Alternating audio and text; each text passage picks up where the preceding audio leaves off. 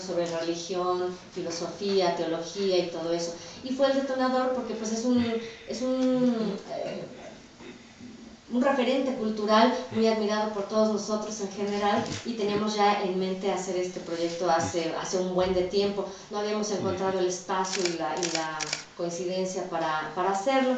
Entonces resulta que a mí la UNIMA, que es la Unión Internacional de Intérpretes de la Marioneta, me da una beca para asistir a, a un festival eh, de títeres en Francia, en Charleville-Mézières, es un, es un evento imperdible para los titiriteros del mundo, y ahí tuve la fortuna de conocer al maestro Alain Lecoq, y eh, gracias a él, que él trabaja teatro en miniatura, ¿no? los que conocen a Pablo Cueto saben un poco de este teatro en miniatura, y él lo trabaja muy bien.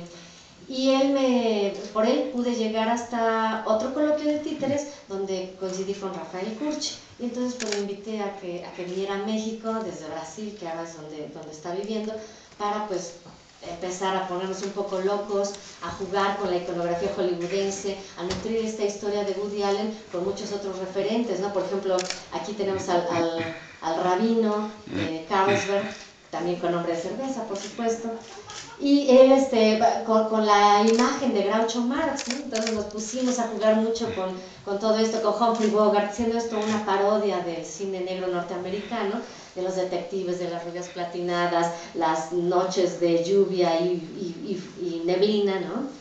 Eh, quisimos nutrirlo de muchos referentes de esa época, desde El Padrino, como pudieron apreciar aquí con Marlon, Marlon Brando, su santidad el Papa, y este Groucho Marx, que además fue una inspiración de Woody Allen para hacer el tipo de comedia que él hace, ¿no? También era un, una persona brillante, un cómico excelente, que, que no solo era eh, agudo en, en, cuanto a sus comentarios, a sus mentes y conocimientos, sino también era capaz de hacer una comedia física extraordinaria, ¿no? Y bueno, pues juntando todos estos referentes fue que nació El que mueve los hilos.